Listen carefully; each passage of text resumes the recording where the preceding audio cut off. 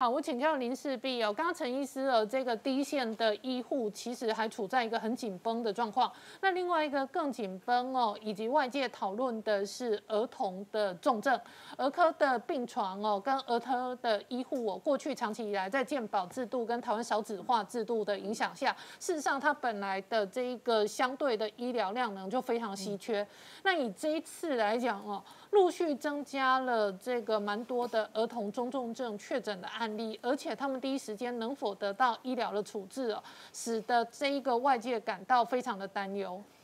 儿儿童这个这这一次中重症的确增多，上礼拜六还特别为此开了一个研讨会哦，我当然全程参与。然后到今天星期一最新的数字，我们儿童已经十四个重症了。那分母跟大家讲一下，分母上礼拜五，因为我们是一星期公布一次了哈，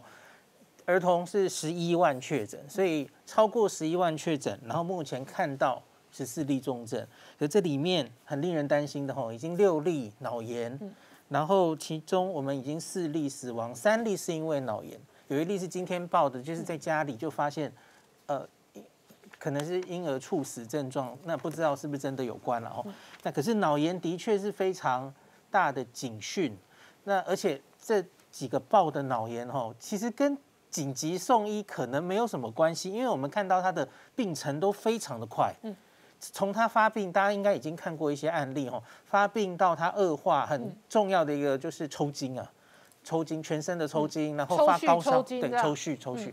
然后意识会被影响的这种抽抽蓄是非常严重的哦。那家长几乎不会忽视了，虽然指挥中心星期六就提出，哎，有八大警讯哦，可是你看那个警讯，其实都是家长看到一定就觉得很怪的啦，一定会马上就医的。所以我们看到的其实都是很快就送医，可是常常就是哇急转直下。那所以我觉得这一次儿童的这这个东西哈。礼拜六专家在讨论的是，到底国外有没有看到类似的？哦，真的很少，因为我自己也有去找，然后我跟黄崇宁医师讨论哦，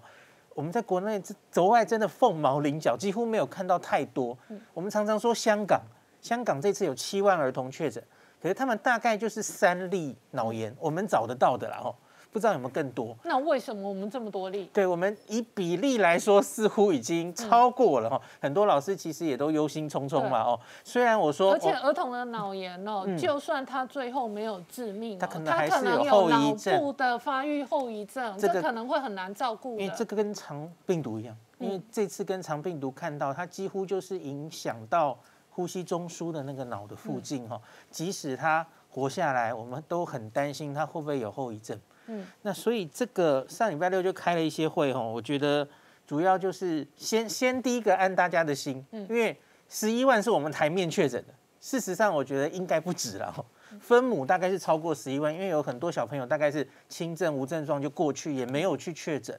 那可是当然，相对别的国家已经看到，这的确是一个没有被报告过的，我们要密切。继续监测的哈，那可是像黄黄聪林医师那天报道完了，很很最后下了一个结论，他还是希望安大家的心，就是你不要忘记，大家都在新闻上说哇，好好严重怎么样？可是你不要忘记，十一万多的小朋友其实多半都是轻症跟无症状，就这样过去了。就是家长就是谨慎哈，小心那几个重重症的一些表现，那可是也不要太恐惧。我们确诊不是只依赖 PCR 了哈。会加进快筛的量能，我觉得那个才是见真章的时候，会比较能抓到更多的案例。嗯，那我看 PCR 的阳性率，其实这一周大概都是那么高。